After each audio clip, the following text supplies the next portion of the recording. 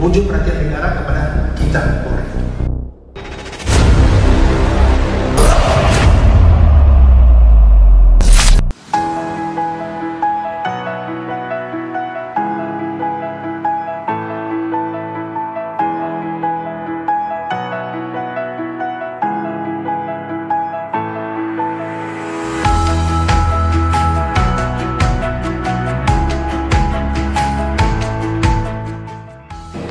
Upacara Purna Bakti pada hakikatnya merupakan penghargaan yang tulus dan ungkapan rasa hormat yang setinggi-tingginya dari segenap kesatuan dan rasa kecintaan bagi anggota yang memasuki masa pensiun.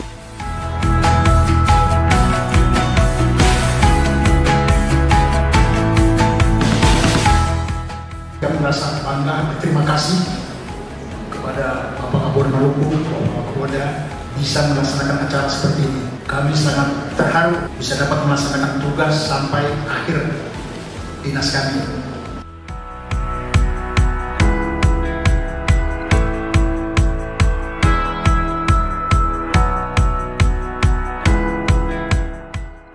Saya sering menyampaikan puncak karir tertinggi di Polri itu adalah menjadi purnawirawan.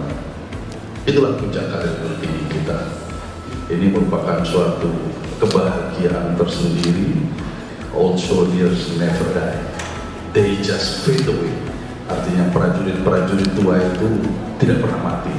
Mereka hanya menghilang sementara. Artinya menghilang sementara itu kembali ke masyarakat, kemudian dia melaksanakan tugas-tugas dan itu semua impian kita, ya impian kita.